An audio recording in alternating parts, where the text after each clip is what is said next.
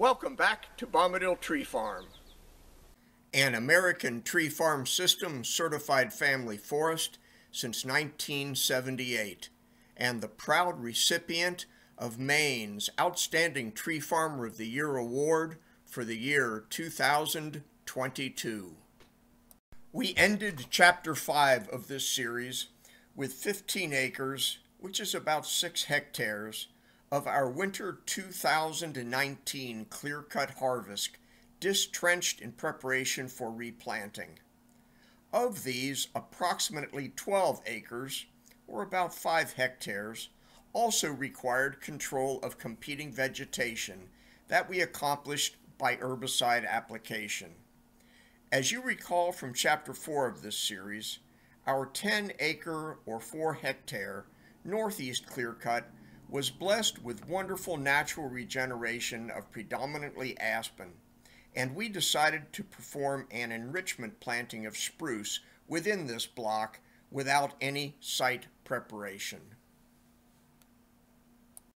I plan to hand plant all seedlings myself over a period of three to four years, doing so during a brief few days each May or June However, this invites regrowth of competing vegetation in herbicide-treated blocks. To reduce this problem, I applied herbicide just prior to planting the June 2021 and 2022 blocks, and during the summer of 2022, sprayed the blocks scheduled for planting in 2023 and 2024. There is an ancient bit of wisdom that goes something like this. When is the best time to plant trees? The answer, 20 years ago. When is the next best time to plant trees? The answer, today. So I invite you to join me as I head off on June 2nd in the year 2021 to begin planting the first trees in our 2019 clear cuts. En route to our planting site, please share with me the special joy of passing through this beautiful spruce forest that 43 years ago I planted when but a young man.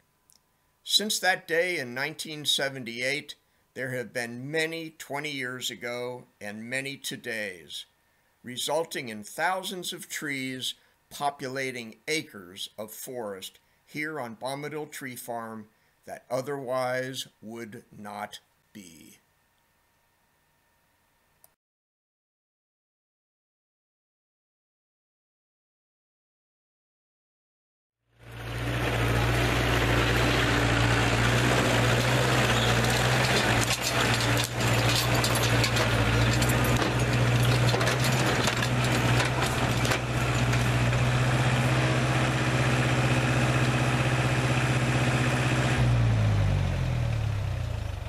Our first planting site is not part of the degraded woodlot that we clear cut. Those clear cuts appear across the top of this satellite image. It is a small patch outlined here in gold that I decided to incorporate into our overall harvest and reforestation plan. This approximately two acre harvest block has very, very special meaning to me. It was part of an abandoned agricultural field that I replanted into white spruce back in the year 1978. Saw them grow to maturity and harvested them in the year 2019. Now I'm blessed with the opportunity to begin a second forest on this same site. The harvest block might look messy, but a full growing season after our 2019 harvest. What you see is mostly logging slash and not aggressive vegetation. Consequently, we decided to plant the inverted furrows left by the disc trencher without any herbicide treatment.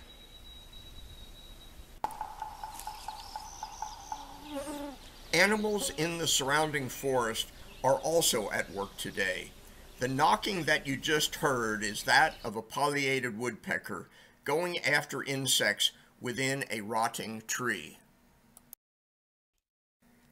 Our seedlings are high quality Norway spruce.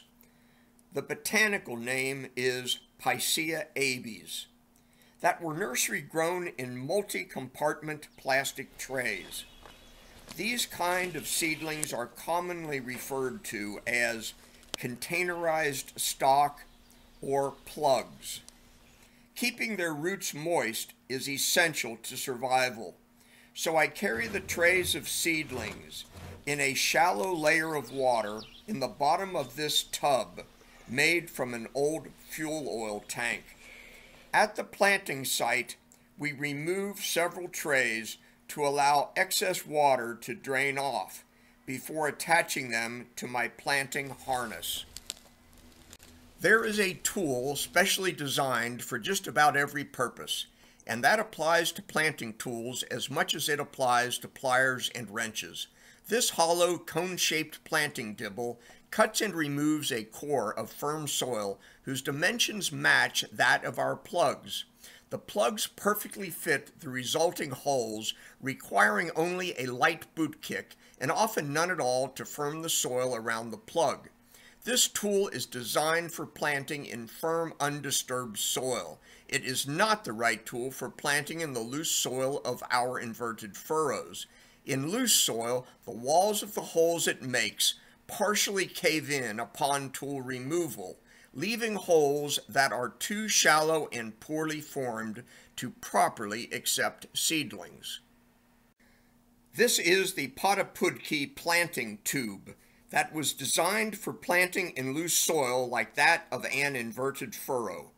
After insertion into loose soil, a foot pedal spreads its jaws, allowing a plug dropped into the top of the tube to fall into the hole made in the soil.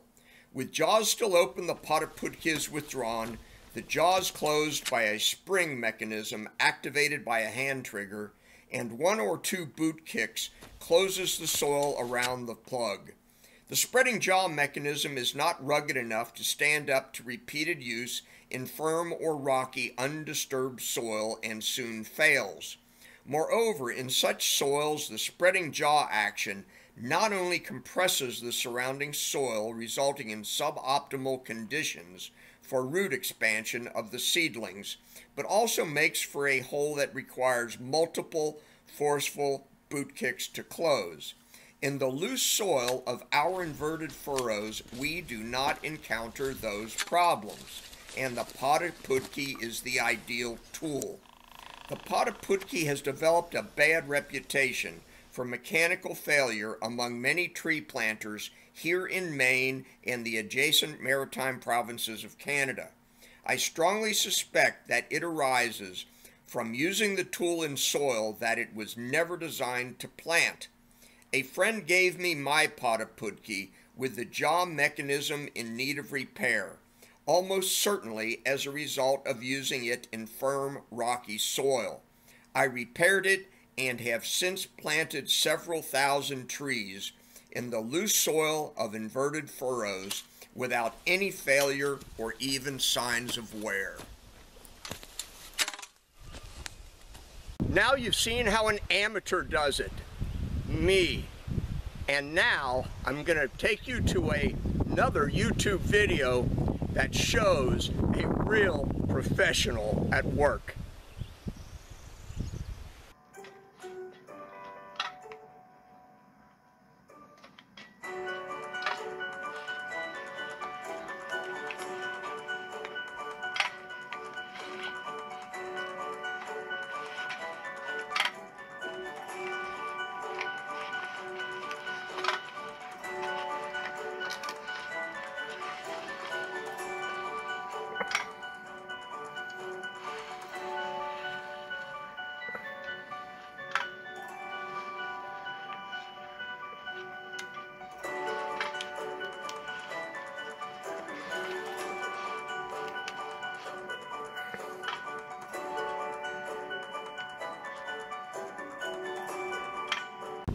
Hey, now wasn't that guy good? But then again, you know, I think the Scandinavians have it in their genes to do everything in forestry better than anyone else in the entire world. For our enrichment planting here in the undisturbed soil of our northeast clear cut, we will use the cone-shaped dibble. The final site for us to plant in June 2021 is this two acre block, slightly less than one hectare, within our southernmost clear cut. It had a heavy cover of competing vegetation, mostly raspberries and woody stump sprouts, so we sprayed it with herbicide the day before planting. We could do this because the herbicide we used gains entry into plants only through their leaves and has no residual soil activity. Our pesticides label specifies how long we must wait after application before entering a treated area. For agricultural crops, the no entry period is four hours. For forestry use, we may re-enter after the spray mixture has dried on the target foliage. In our case, that was less than an hour. We were clearly in compliance by not re-entering until the following day. On September 11th, 14 weeks after planting, I checked back on this site and was greeted by this lovely sea of bracken fern gently waving in the breeze. Although our herbicides label lists bracken fern as a susceptible species approved for control, we sprayed before its foliage had adequately emerged and it thereby escaped herbicide injury. We had a dry summer and the fern's partial shade provided protective shelter for our infant seedlings. I would like to say that I planned for this, but I did not. Some would say that it just happened by accident. I prefer to think that Mother Nature appreciated our efforts and wanted to lend a helping hand. I have laid blue ribbons at the base of a couple of our youngsters so that you can more easily pick them out. I have planted a lot of trees over many years and have never seen seedlings look so good at the end of their first season in the ground. They are green and healthy with turgid needles and have set robust buds in preparation for next year's growth. In the next chapter of this series, we will return to take a look at our baby trees after they have had an additional summer to grow. We will also provide an update on the remaining sites that we plan to plant in 2022, 2023, and 2024. One of the interesting trees I felled during this winter's harvest was this red spruce that was hit by lightning last summer. In addition to the lightning bolt shredding a streak down its side, it blew off the top, now seen lying here beneath the snow. The lightning bolt also exploded several meters of the stem below the blown off top, but I was still able to salvage two very good quality logs.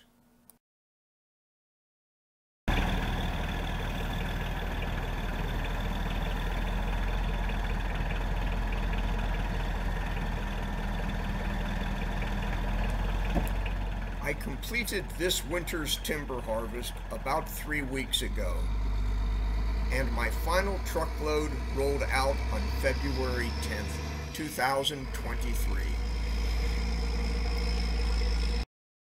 Until next time, Kathy and I bid you a pleasant farewell from Bombadil Tree Farm, located just outside Ashland, Maine, in the United States of America.